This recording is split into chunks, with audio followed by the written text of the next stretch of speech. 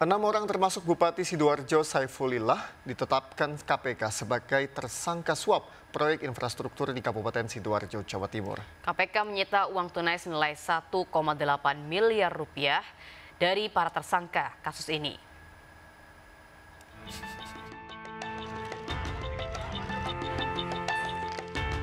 Inilah barang bukti uang tunai sejumlah 1,8 miliar rupiah lebih yang disita KPK dalam penangkapan Bupati Sidoarjo, Jawa Timur, Saiful Ilah.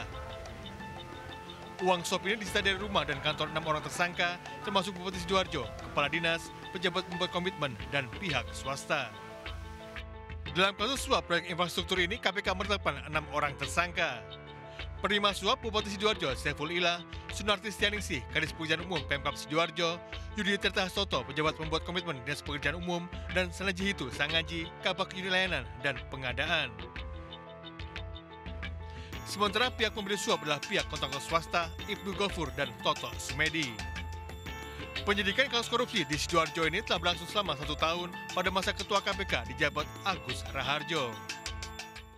Uh, penyelidikan terhadap apa kasus di sidoarjo ini sudah berlangsung lama satu tahun ya satu tahun.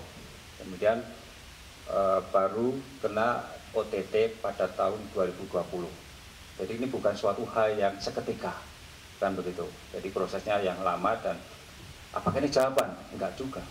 Kalau toh misalnya tidak ada OTT pada bulan Januari pun kita juga enggak akan risau terhadap hal itu